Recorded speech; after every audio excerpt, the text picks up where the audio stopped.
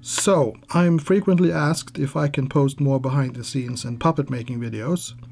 That kind of material is usually reserved for my Patreon page, but since everyone can't afford to be a patron, I've decided to re-edit and upload on YouTube a bit of that content, so those of you who are genuinely interested in my creative process can take a peek into that part. You might recognize this hammerhead monster from my film Zorg the Conqueror. It's very representative of the puppet making techniques I use, so let's have a look at how that was made. I always start with some kind of sculpture. In this case, it's the head and neck of the monster. The sculpture is executed in monster clay medium grade, which is still my favorite sculpting material. I use mainly loop tools. This one I made myself from steel wire and the handle of a discarded brush. I'm using an oil painting brush with stiff bristles dipped in Vaseline to smooth out the sculpted details and make them look more organic. I'm jumping ahead a bit here. I've created a dental plaster mold over the sculpture and the clay has been removed from the hard plaster which has been allowed to dry out. I've cast a layer of tinted latex into the mold. However, one layer is not enough to make the skin sturdy enough, so I'm adding a couple more layers with ordinary latex. I'm mostly using a sponge for this purpose, but also Q-tips to reach certain areas in the mold. Now to add extra support I use thin sheets of polyurethane foam soaked in latex. When dry, this latex foam mix has an almost clay-like quality and you can use it to add support and build up bulk on a puppet. I simply press the foam down onto the latex surface and use various tools to get it into all nooks and crannies. All latex cast in a plaster mold must first be dusted down with talcum powder or cornstarch before it's removed, or the shiny surface of the skin might stick to itself.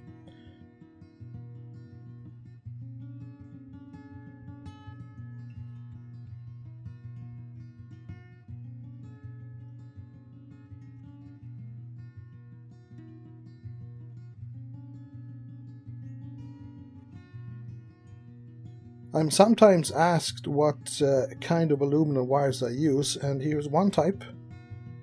Its diameter is 2 millimeter, and this particular one happens to be black. What color it is doesn't matter. It's folded double or triple to create strong but bendable joints. The tie downs are super important for a puppet. I'm using T-nuts with a threaded bolt to keep my puppet's feet anchored to the animation stage. The T-nut has small hooks to make it stick properly in a wall. I believe that's actually what, I, what you're supposed to use it for. But I don't need those hooks, so I simply flatten them down with a pair of pliers. Here's a slightly odd but important detail. I add a small blob of thermoplastic on the top of the nut where the bolt is poking through the threaded hole. The purpose of this is to stop another material, I'll apply in a minute, from running down into that hole and fix the bolt permanently. We don't want that.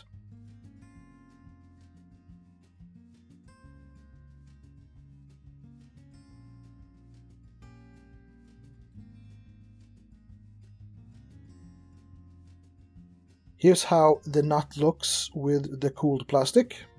Now, to attach the aluminum wires to this nut and make it stick really really well I'm using an old model maker's trick. First I apply a fast setting super glue. It sets in about 10 seconds. Then I press down the aluminum wires around the top of the nut. These wires will become the legs obviously because of the tie downs.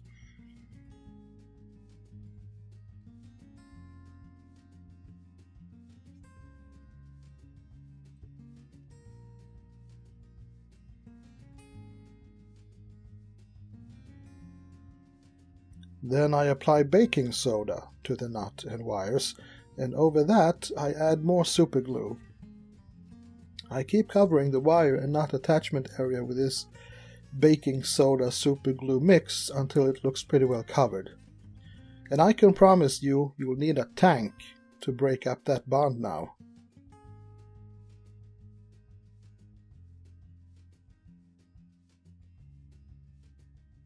To create the bendy joints in the armature, I have to cover up the non-bendy bits. I use thin nails with cut-off heads to create those areas. The nails are simply laid against the aluminum wires and strong yarn is wrapped around the nail and wires.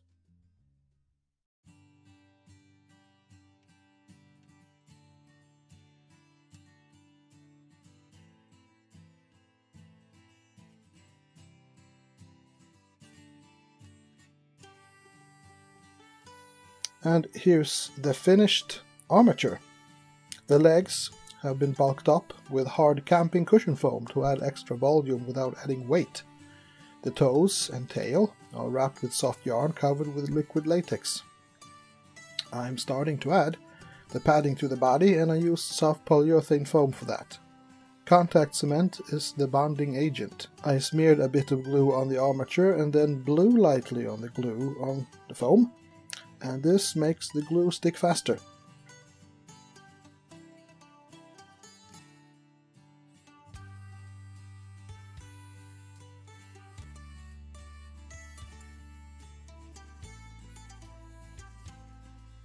To attach the head latex skin, I first cover the foam padding with contact cement, and then I do the same to the foam padding inside the latex skin head.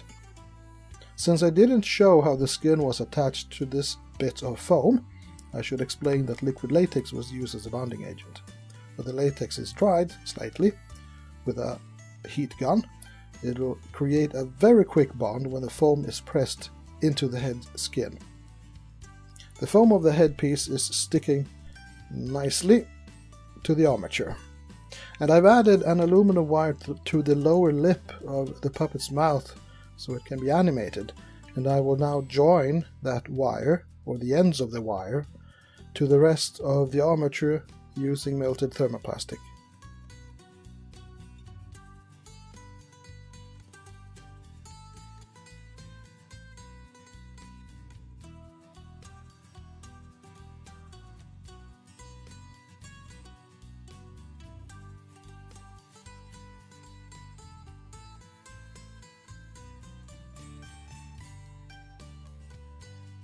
Getting back to those uh, hard foam bits on the legs, as you can hopefully see, they help create the shape of the legs when uh, the foam sheets are wrapped around them. This is a thin strip of foam folded over and glued together. It will now help create the shape of the tail.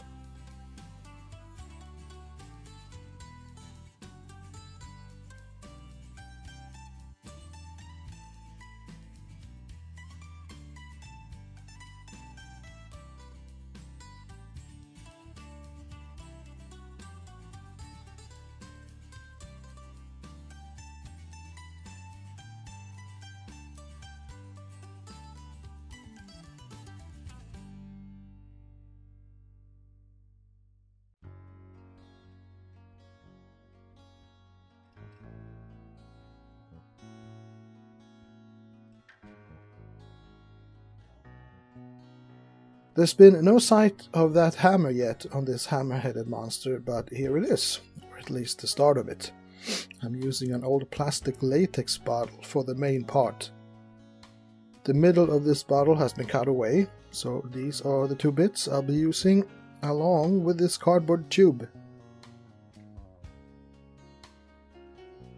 The various bits are joined using hot melt glue. The hammer shape needs to be attached to the armature and I'm using more melted thermoplastic to achieve that.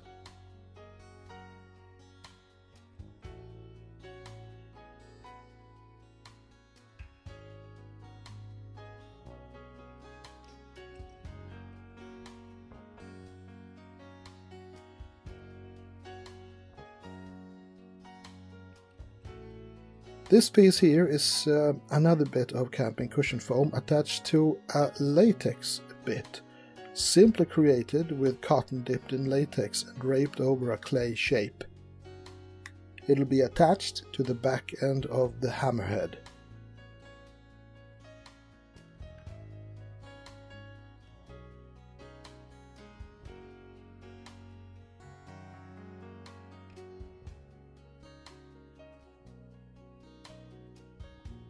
To create an organic looking surface on the hammer, I'm attaching a mix of cotton and latex to the cardboard and plastic bottle parts. Let's talk a little bit about skin textures. I will be using old skin texture mold molds for uh, most of this puppet, but I wanted a sort of ankylosaur-like armored knobbly texture for the back of this monster. And like all my textures, this one was sculpted flat using small loop tools, mostly taking away clay, but also adding bits.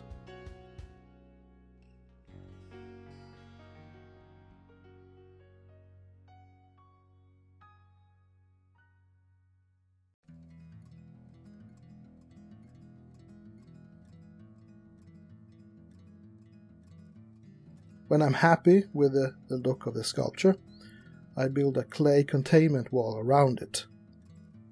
And I then cover the sculpture with dental plaster. The first layer is brushed around all nooks and crannies, and then the rest of the plaster is poured on. When the plaster has set, the clay wall is removed, and the mold is lifted off the sculpture. It usually comes off pretty easily since it's flat. Tinted latex is then sponged into the mold. I always tint the latex I cast since I can then get a good base color to the latex pieces. After adding two layers and allowing them to dry, I can now remove the skin piece. It's dusted down first, of course, and then it's simply peeled off the mold.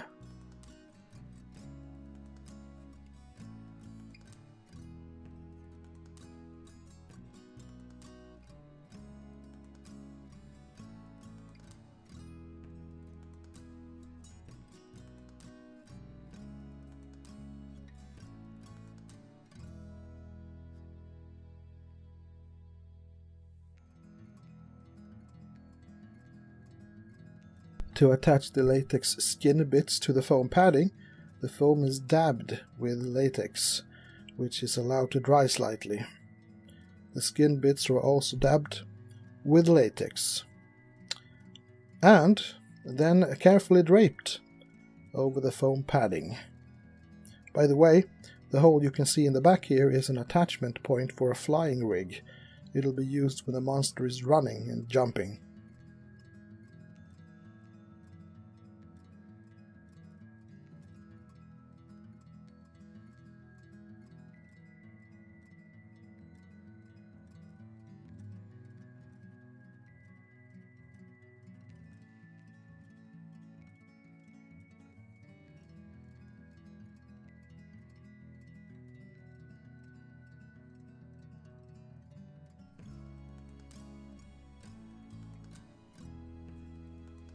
Liquid latex is also used for covering the seams between the various cast bits.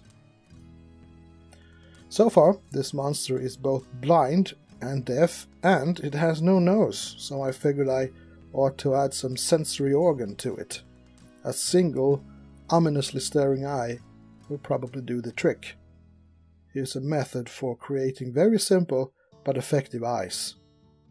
I have here a sheet of photoshopped eyes printed out on ordinary printing paper. I add a blob of black hobby paint to the pupil on the selected eye design. This is so the pupil will stand out better. When the paint is dry, I add an acrylic sphere over the eye image. I buy these spheres from a scrapbooking shop.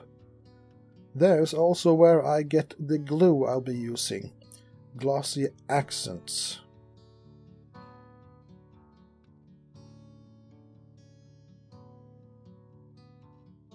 When the eyepiece has been cut from the paper printout. It's glued to a bit of aluminum wire which will serve as an eye stalk. This wire is covered with soft yarn and tinted latex. At its base is a bit of latex soaked cotton which, when dry, will serve as an attachment surface against the head. It's finally time to give the monster its paint job. I first stipple on a unifying dark color using a foam sponge and tinted latex. Then a lighter tinted latex is dry brushed on in a few layers.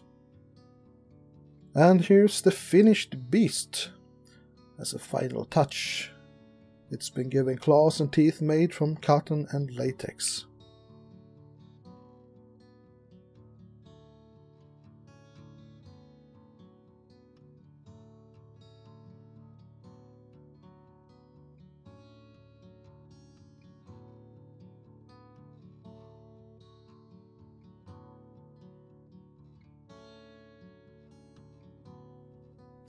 And that's it. Hope you enjoyed it, and see you next time.